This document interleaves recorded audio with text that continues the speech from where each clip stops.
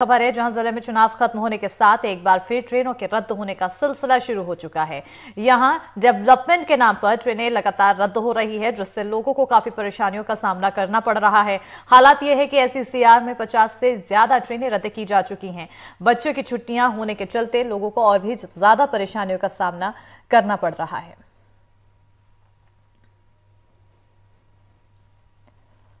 सही टाइम पे उनको ट्रेन नहीं मिल पाएगा, जिस कारण से वापिस सही टाइम पे पहुँच नहीं पाएँगे।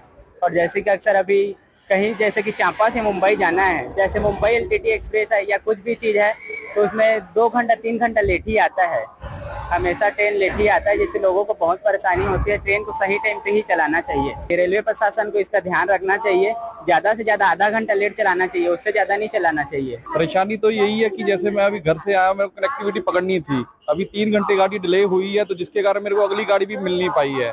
और जिसके कारण यात्रियों को दिक्कत तो है ही कि मतलब डिले इतना चल रहा है, जैसे कुछ ट्रेनें हैं, कलिंगा उत्कल वगैरह है, आठ आठ, दस दस घंटे वो डिले ही रहती है हमेशा।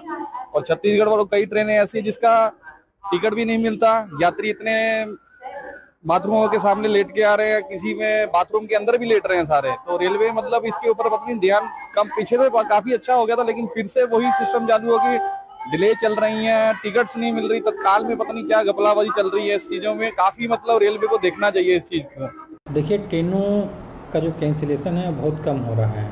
अगर आप टोटल जो ट्रेनें कैंसिल की गई हैं और साल भर में जो जितनी सेवाएँ हैं, अगर उसका आप एक कंपरेटिव प्रतिशत निकालेंगे तो दो परसेंट से भी कम है। काफ़ी कम है। और जैसे हम अभी मुदड़िया का एन कर रहे हैं थर्ड लाइन कनेक्टिविटी के लिए तो डिफरेंट डेट्स में हम लोगों ने कुछ ट्रेनें कैंसिल की हुई हैं। वो भी डिफरेंट डेट्स में और नॉर्दर्न इंडिया से आपके बिलासपुर, रायपुर की कनेक्टिविटी बनी हुई है। और मैं उम्मीद करता हूँ कि जब third line fourth line connectivity का काम शुरू हो जाएगा तो ना केवल ट्रेनों की पंक्चुअलिटी में सुधार होगा, बल्कि ये इंफ्रास्ट्रक्चर की वजह डेवलपमेंट की वजह से जो ट्रेनें कैंसिल करने की नौबत आती है वह भी नहीं